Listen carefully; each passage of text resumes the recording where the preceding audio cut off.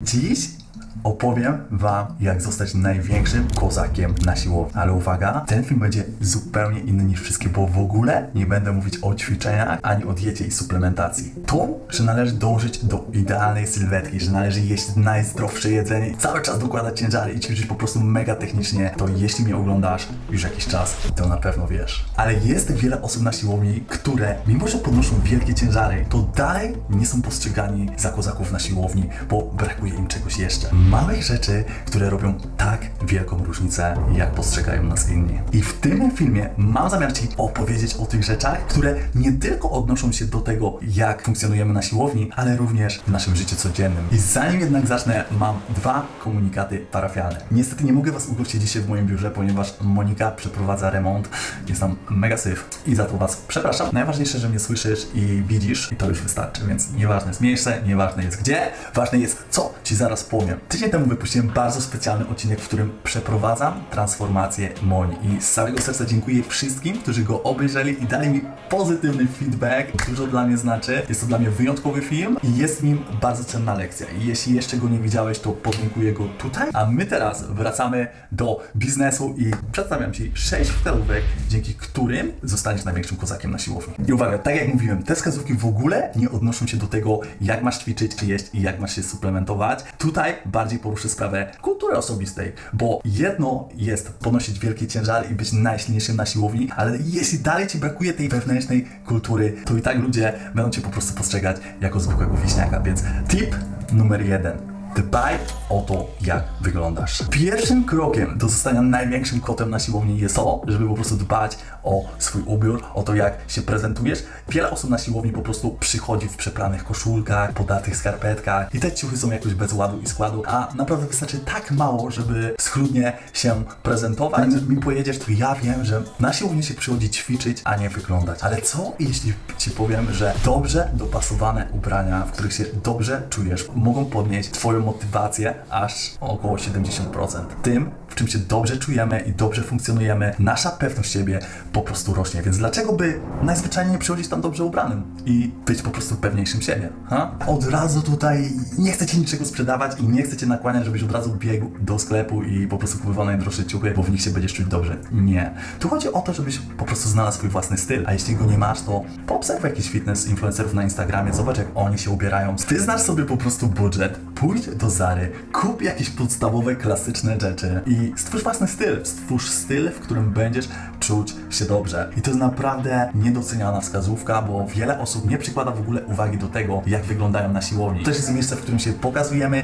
i w którym nawiązujemy znajomości i w którym należy dobrze wyglądać, bo pierwsze wrażenie robisz tylko raz. I co z tego, że ty będziesz podnosił 200 kg na klatę, jak przyjdziesz w podartych skarpetkach i po prostu to nie wygląda. I uwaga, to co ja lubię robić, to po prostu ubierać się w zwykłe, klasyczne, oversize'owe koszulki, do tego wyslimno, wyslim, wyslimowane dresy i oczywiście cover pad, czyli bluza specjalnie przeznaczona na siłkę i tyle. Takie proste, klasyczne rzeczy dają nam naprawdę sporo możliwości. Możesz rotować sobie te, te outfity, te stroje i tworzyć w ogóle zupełnie inne kreacje i to daje takie szerokie pole do popisu. Pamiętaj sobie tego tipa następnym razem, jak pójdziesz do sklepu, celuj jakieś klasyki, jakieś klasyki, które dobrze na tobie leżą, w których dobrze się czujesz i które będą pasować do reszty twojego stroju. Jest research, research, tu trzeba zrobić research. Na pewno jak się nie znasz na modzie, to może ciężko, ale, ale dla chcącego nic trudnego i możesz szybko to ogarnąć. Serio. Dobry ubiór to jest po prostu dobre wrażenie. Pokazuje, że o siebie dbamy i warto naprawdę do tego przykładać uwagę. Dbaj o to, jak pachniesz. I panie, panowie, nieważne jakie ciężary będziecie podnosić, jak mocno i, jak dobrze technicznie będziecie ćwiczyć, jeśli twój zapach nie będzie przyjemny, to po prostu wszyscy będą od ciebie uciekać. Pocenie się na siłowni jest kompletnie normalne, tak już po prostu jest, ale jeśli nie zadbasz o kilka rzeczy, to możesz zamienić się po prostu w osobę, przez którą cała siłownia śmierdzi. Więc oto kilka zasad, na które polecam zwrócić uwagę. Nigdy, powtarzam, nigdy nie chodzimy w tej samej koszulce na drugi trening. Ja wiem, ja wiem, Hubert, to jest obleśne, jak mógłbyś tak pomyśleć, że ja pójdę w tej samej koszulce na drugi trening. No ale stary, Niech pierwszy rzuci ten kamieniem, który po prostu nie wybrał sobie rzeczy, albo jeszcze gorzej, to jest jego ulubiona koszulka i on się dobrze w niej czuje i znowu w tej koszulce idzie na trening. Takie koszulki naprawdę śmierdzą i jeśli tego nie czujesz, to uwierz mi, że inni tak. Uwaga, jeśli jesteś osobą, która ma po prostu tendencję do podzenia się wię- większą niż inni, to warto sobie najzwyczajniej wejść pod prysznic przed siłownią. I uwierz mi, że od razu lepiej będziesz pachnieć, będziesz miał po prostu więcej energii. Trzecia zasada, warto sobie po prostu ogarnąć dobry perfum na siłownię. Bo noszenie przyjemnego i chłodnego perfumu na siłowni nie tylko sprawi, że będziesz po prostu się czuł bardziej świeży i po prostu pewniejszy siebie, ale następnym razem jak będziesz asekurował tą koleżankę, która poprosiła Cię o pomoc, to zamiast e, zostawiania przykrego zapachu, bo po prostu zszedłeś z jakiegoś intensywnego seta, będzie po Tobie pachnieć. A ona to na pewno doceni. Perfumy działają lepiej niż dezodoranty, ponieważ nie parują. Dlatego warto sobie po prostu kupić jeden. Jeszcze raz, Zara, bez reklamy sponsorowanej, ma naprawdę dobre i tanie perfumy. Taki perfumik robi naprawdę dobrą robotę. Jedno psieknięcie, nie za dużo, nie za mało, masz dobrze pachnieć, masz być świeży i masz być pewny siebie. Konsekwentne pielęgnowanie butów. Pamiętaj, że twoje nogi się pocą, ok?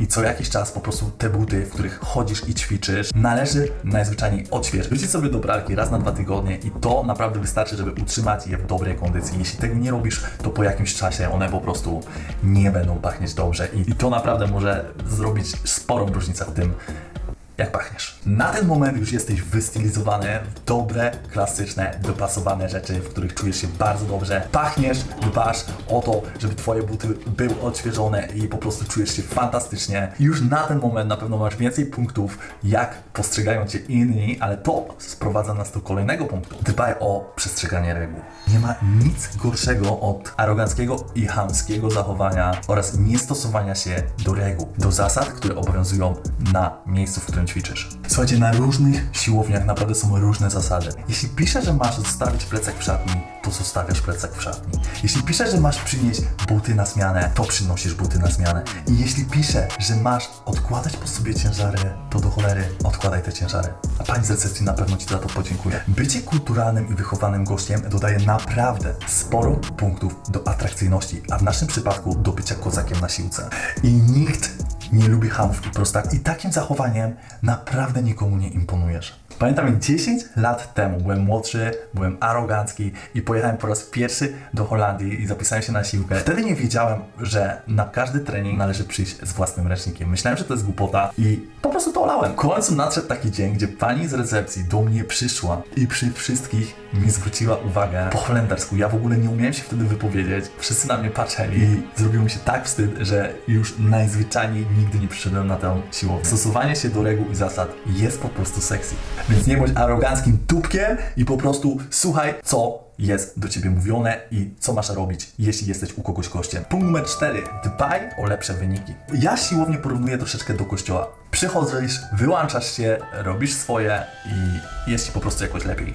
Wiele osób jednak traktuje swoje sesje treningowe jak pewnego rodzaju wyjścia z znajomymi. Jak widzę młodych chłopaków, którzy kampią przy ławie i po prostu zamiast ćwiczyć, to najzwyczajniej pierdolą, to po prostu coś się we mnie gotuje. Kozaki na siłowni w momencie, kiedy wchodzą na salę treningową, zamieniają się w inne osoby. Mają jasny, określony cel, mają jasny, określoną objętość i wiedzą, co mają robić. I zamiast pierdolić, to najzwyczajniej zaczynają trenować. I uwaga, jeśli chcesz znaleźć kolegów, to naprawdę jest wiele miejsc, które są przeznaczone do tego. I zgadzam się, na siłowni powinna istnieć jakaś forma aktywności społecznej, ale my to mamy po prostu przyjść, zrobić swoje i wyjść stamtąd jako lepsza osoba. To się naprawdę nie stanie, kiedy ty zamiast ćwiczyć, będziesz marnował czas na gadanie.